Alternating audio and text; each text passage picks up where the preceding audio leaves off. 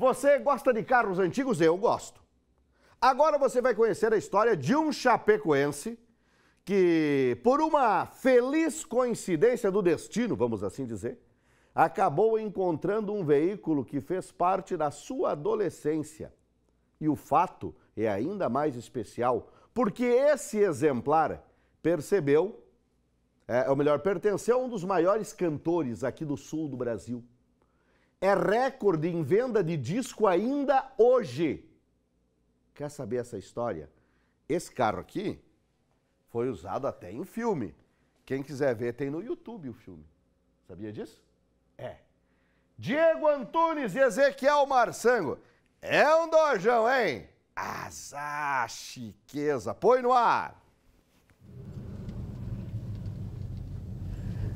Se eu te contar que esse carro aqui já apareceu em vários filmes e pertenceu ao maior ou um dos maiores cantores do Brasil, você acredita? Você conhece o Vitor Matheus Teixeira? Para quem não tá ligando o nome à pessoa, assiste aí que você vai saber quem era o dono desse carro que agora está aqui em Chapecó.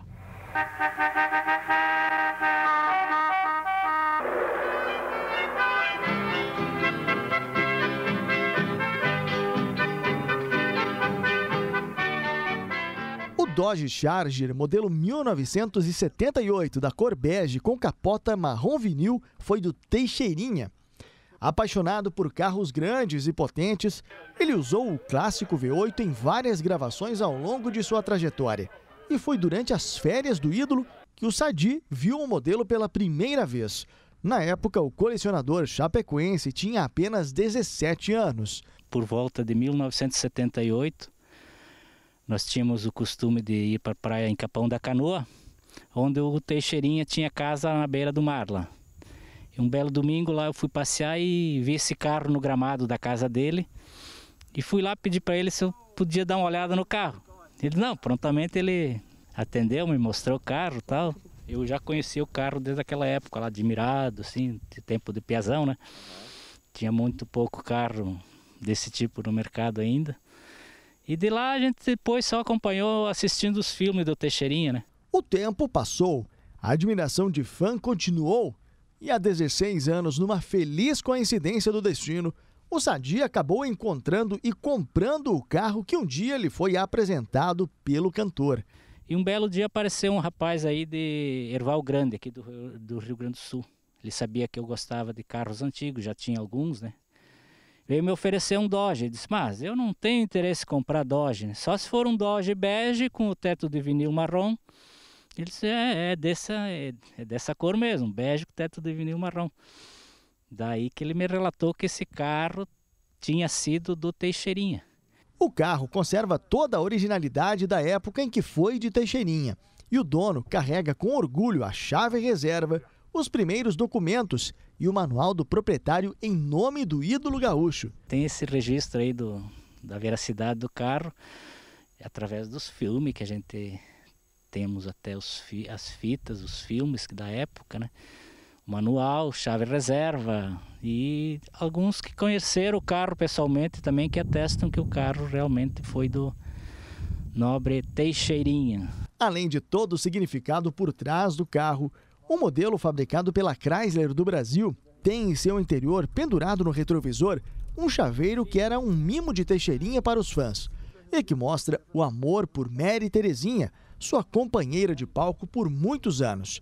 Essas e outras particularidades fazem o atual dono literalmente viajar no passado enquanto dirige o Dodge. É como se a gente estivesse voltando ao passado, assim, né? Relembrando aquela emoção que ele sentia quando fazia os filmes, as, os encontros de musicais que ele fazia. Então vem um, um passado na cabeça da gente, né? Saber que Hoje, em 2020, estamos dirigindo um carro de época aí que fez tanto sucesso na, na vida do Teixeirinha também. E assim contamos um pouco da ligação entre um fã e seu ídolo musical através de um carro que marcou épocas e várias histórias. Tanto para o antigo dono que comprou ele novo, quanto quem conseguiu encontrar o veículo e adquirir com o mesmo sentimento de quem compra um modelo zero quilômetro.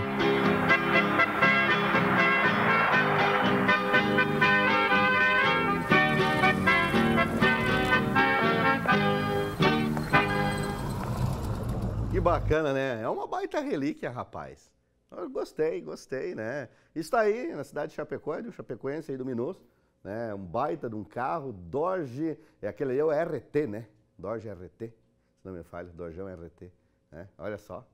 Motorzão V8 parece o motor de uma carreta hoje em dia, né? Essa era chique. Ó, descendo. Para, para, para, para, para. Mas o, o carro deu bem certinho. O Diego é do tamanho do Teixeira.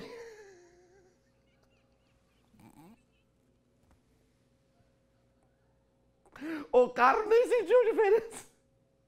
Quando o Diego entrou dentro do carro, o carro deve ter pensado, ué, Teixeirinha ressuscitou. Porque olha o tamanho. O Diego vai me matar de tarde. Vai me encher de paulado.